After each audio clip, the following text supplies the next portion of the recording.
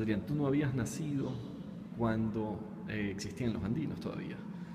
Eh, ¿qué, qué, te activó a trabajar con, con este carro?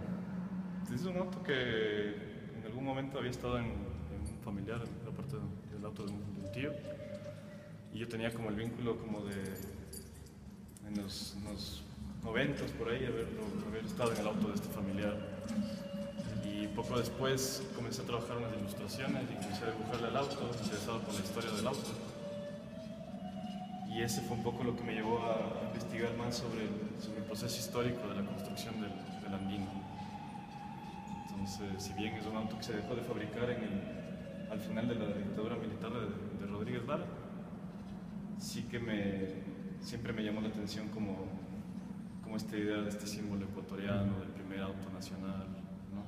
Y todo, todo eso me llevó ya a ir desmenuzando la, la historia detrás de, la fabricación del auto, que es súper curioso.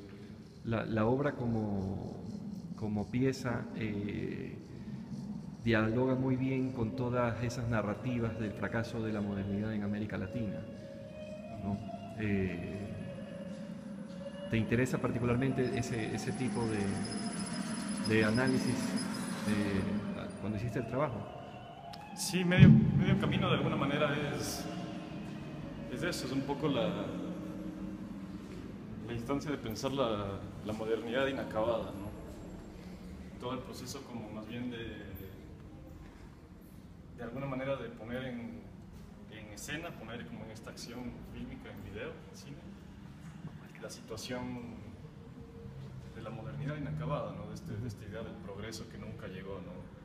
Todo este auto fue construido en el, en el periodo del boom petrolero y de alguna manera me, me da a entender que, que, es así, es una, es una modernidad que quedó oxidada, quedó a medio camino. ¿no? Es un proceso que me, me, llevó a entender como cuáles son los valores que constituyen la construcción de un objeto que representa los valores del Estado-Nación en el momento de la, de la dictadura militar.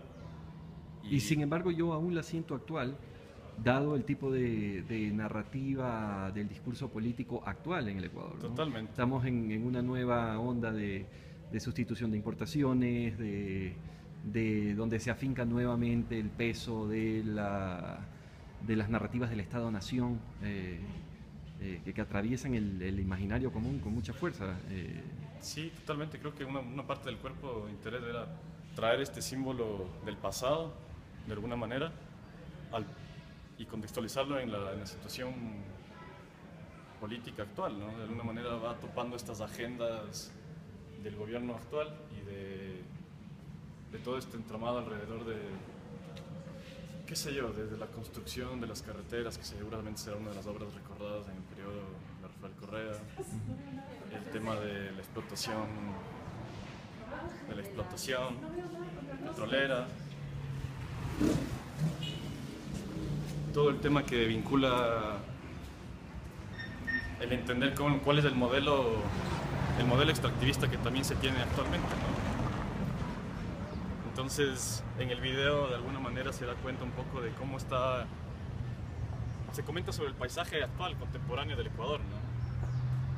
Que a propósito, más que un registro, como me dijiste, a mí me parece un verdadero filme eh, con méritos estéticos eh, más allá de los sentidos que impele el trabajo. Sí, sí, sí. Sin, sin, lugar a duda, el, el, registro. Yo lo llamo registro porque de alguna manera al proyecto como tal yo lo consigo como una acción, ¿no? que es esta cosa más,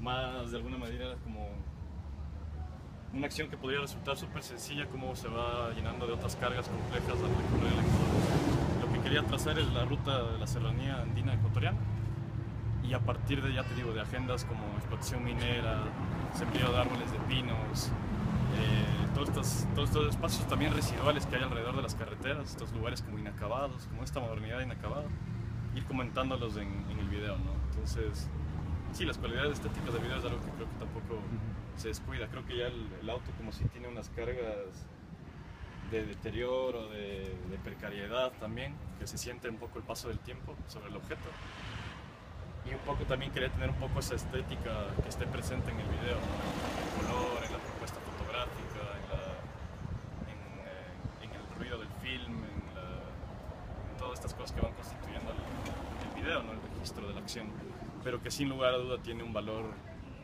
como como que juega un poco entre el videoarte también y, y de algunas, se nutre también de algunos diálogos documentales también. Entonces es muy documental en muchos momentos y en muchos momentos la narrativa también se va cargando de, otros elementos más vinculados tal vez a, lo cinematográfico de ficción.